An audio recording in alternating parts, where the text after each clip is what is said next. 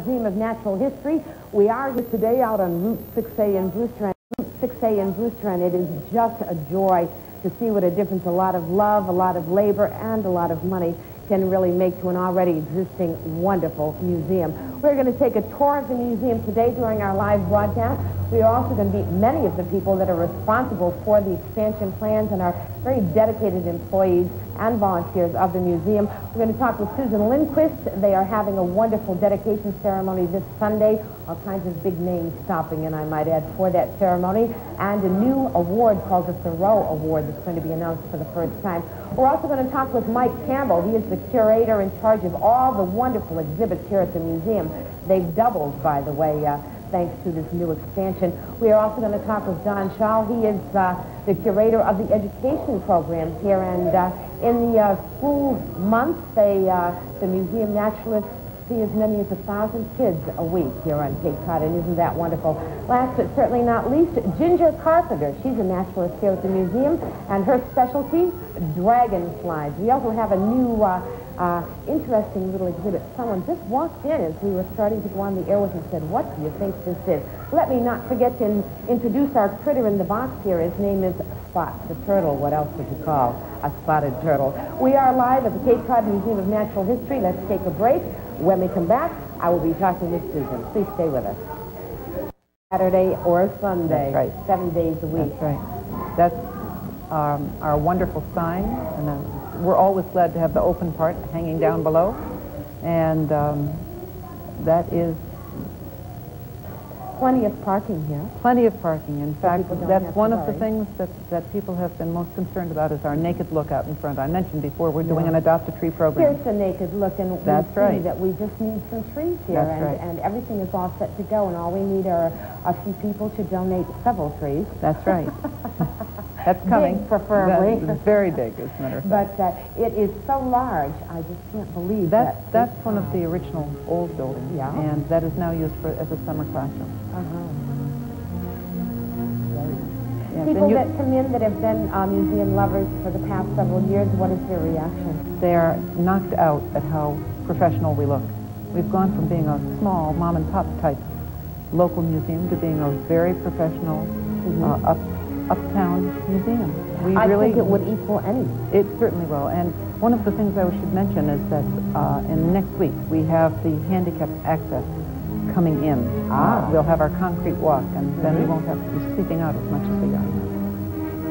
The trails that are available, um, always a naturalist, or can you wander by yourself? You can we have trail guides, and you can wander uh, written trail guides that you can Mhm. take with you. In fact, one of the, our, our wing trail guide was um, produced in conjunction with the town of Brewster and the Brewster Board of Trade.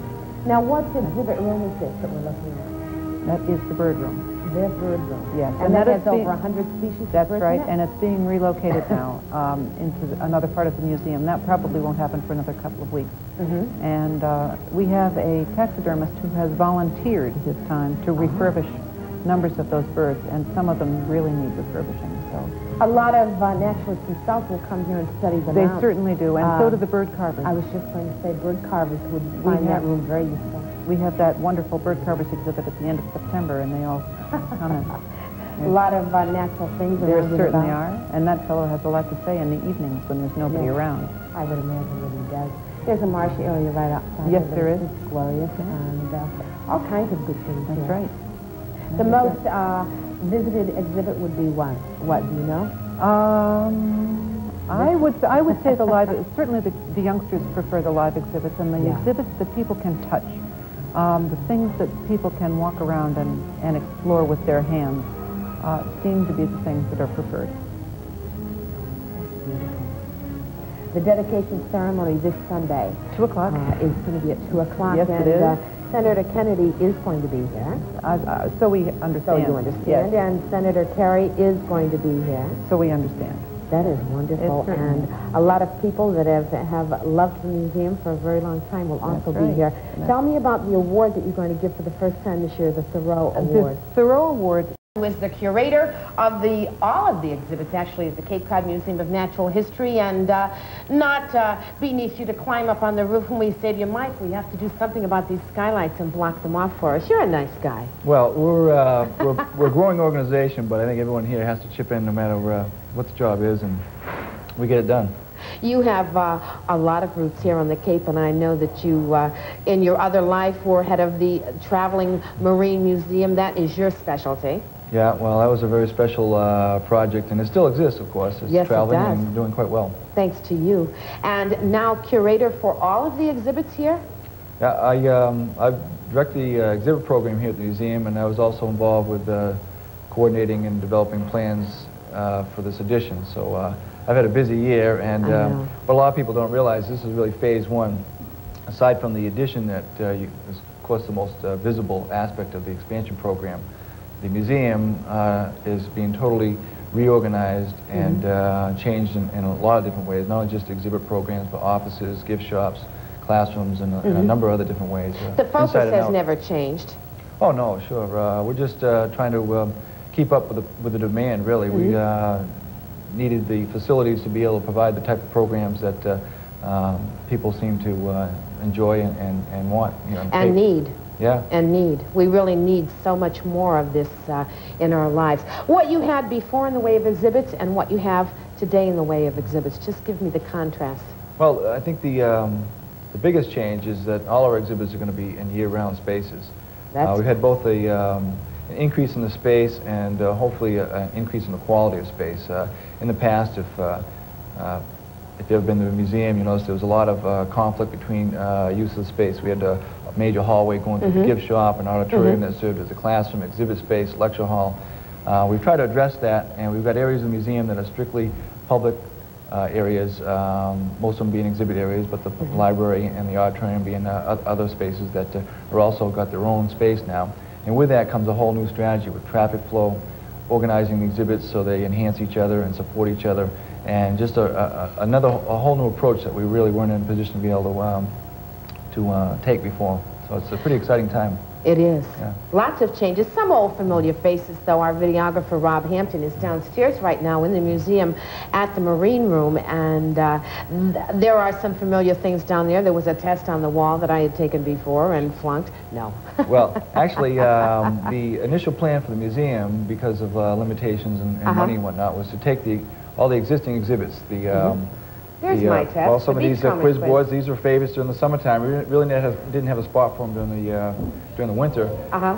Um, we've taken all the existing exhibits, uh, in some cases given them a new coat of paint, a little fix-up, and we're installing them in the museum on a, on a year-round basis. So the whale wall and a lot of these other things uh, are familiar components.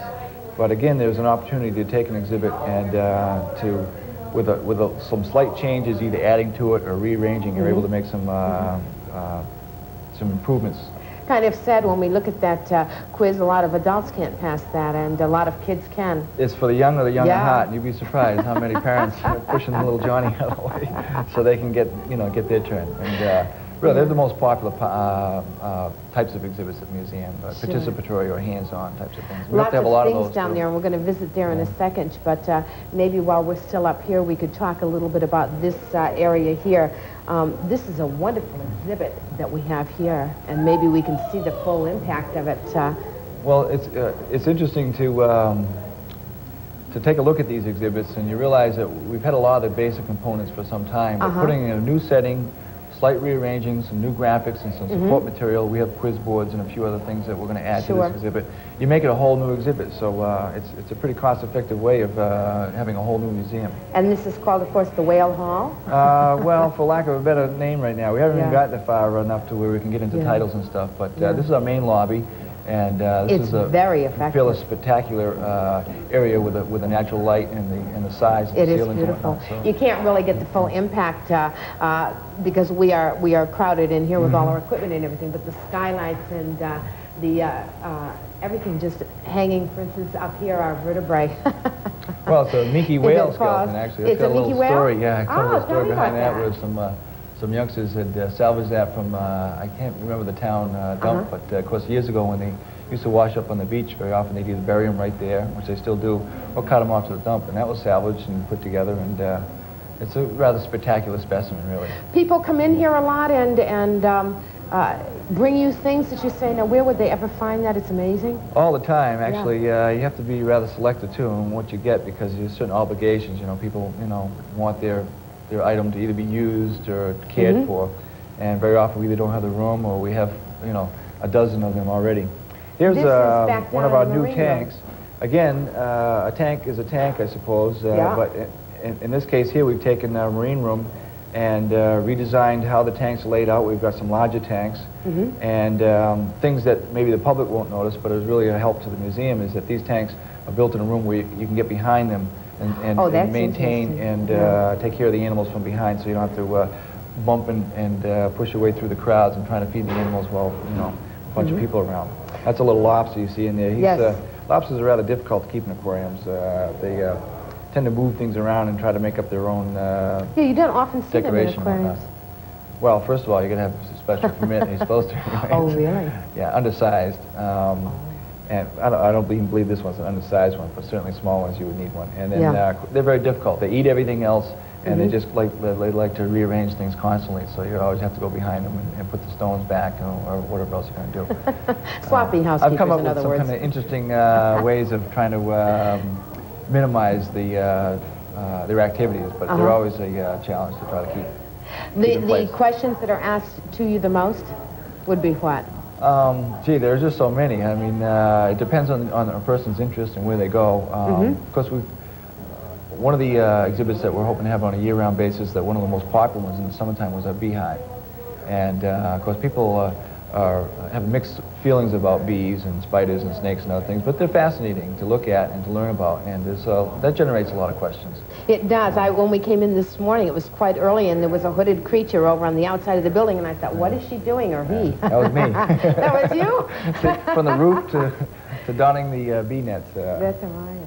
This uh, is another uh, tank down there, an exhibit Yeah. tank. Well, again, uh, we're, we're still uh, frantically uh, scurrying about trying to put things together.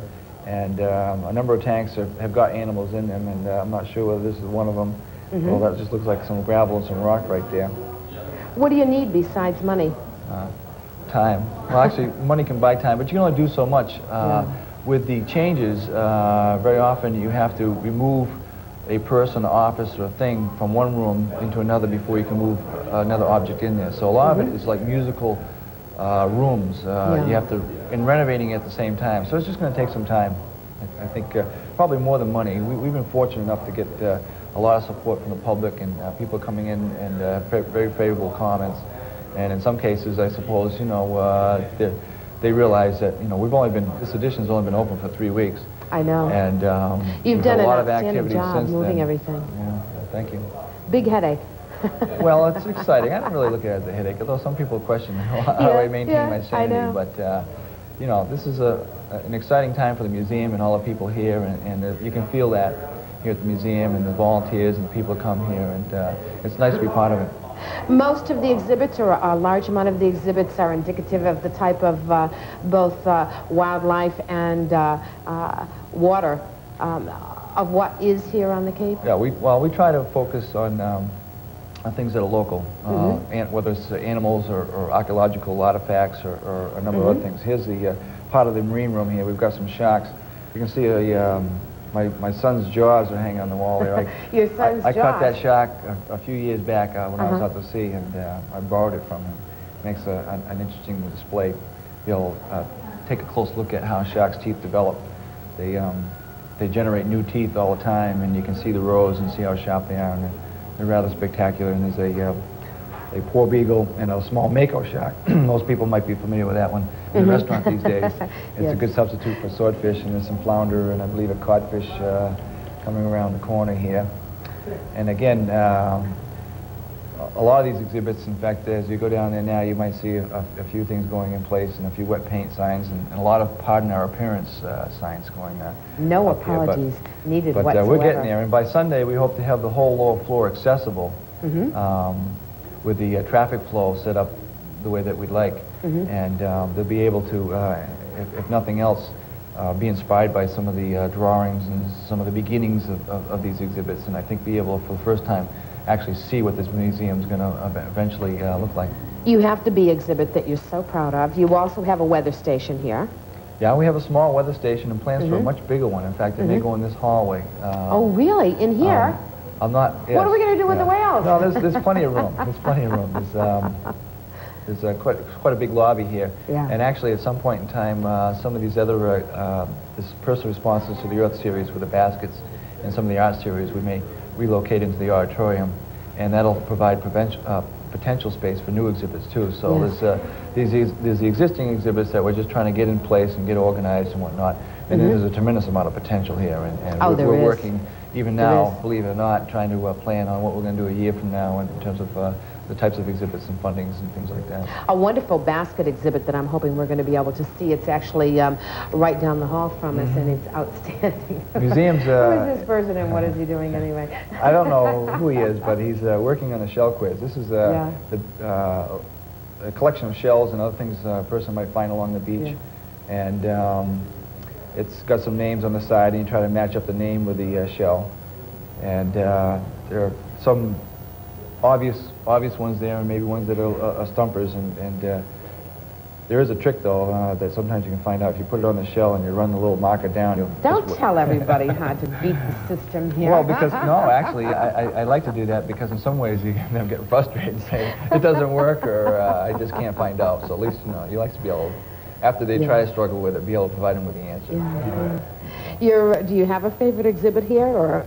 Well, uh, of course, I'm a little biased in the Marine. marine uh, uh, field, and, and the whale wall and the marine room is, is uh, one of the most um, uh, exciting areas for me. Mm-hmm. And in addition to that, we also going to have a tide pool, or a place where we're going to have some hands-on programs. Oh, it's not going to be the type of tide pool you'll see up in New England Aquarium where there'll just Mm-hmm. be an open pool where people can just help themselves, but there'll be an area or a time, scheduled time during the day when we'll have animals available for touching and for taking a close look at primarily. Mm-hmm. I like to more of a structured program, be able to pick up the animal, talk a little bit about it, point a few things out, and then allow youngsters and adults to be able to touch it and be able to, you know, feel what a snake uh, feels like and or uh, No, touch a turtle and things of that nature. I want to bring a snake on. I want to be able to tell you about Nancy's afraid of snakes. Yes, that is true. As we, oh uh, yeah, here's say- the most uh, glamorous uh, animals here. It's a toadfish, and uh, A you can see toadfish. why see why it's got its name. Yeah. Sure. Most people think it's one of the ugliest fish we have here, but it's It, it it's rather interesting. is. Looks a little like you, though. You're both wearing green today. yeah. Well, this is the museum's color. you see.